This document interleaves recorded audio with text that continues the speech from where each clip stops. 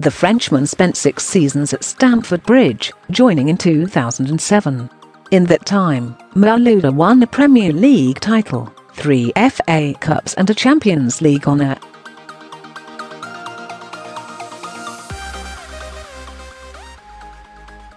But his time at Chelsea ended on a sour note though, with no appearances in his final season.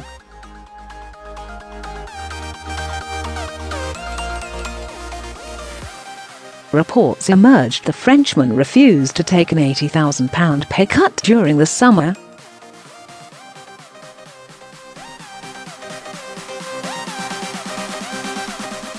This saw Malouda removed from the Blues squad in any competition, leaving for Turkish side trips on Trabzonspor the next summer.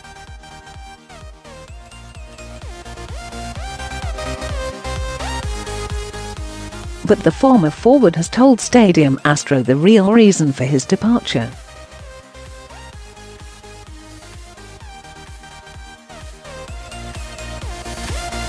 Speaking on League of Legends, the 38-year-old said, What happened is we disagreed on one point.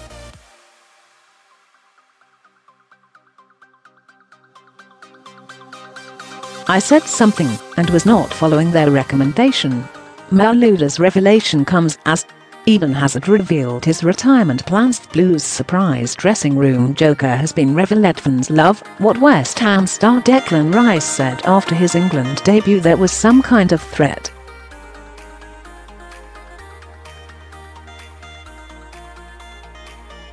They did the same thing with Nicolas and Anelka and Alex when we won the Champions League.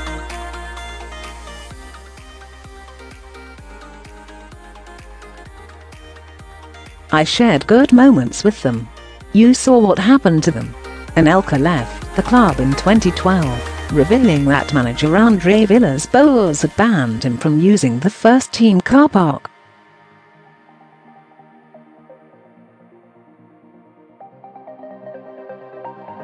While Alex had a transfer to Queen's Park Rangers collapse.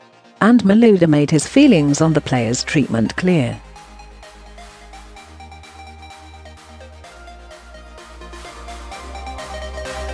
So I disagreed with that, the Frenchman added. I expressed it my way, so there was a threat.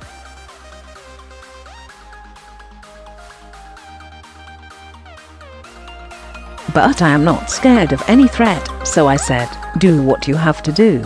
I will not respond.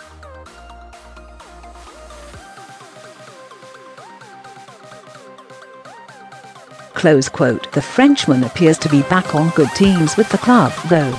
Malouda continued. What I did, and what I achieved at Chelsea, no one can take it away.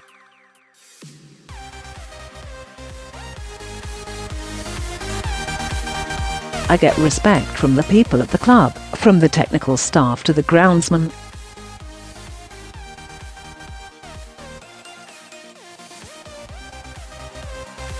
Every time I go there, I am respected, because I stand by my values.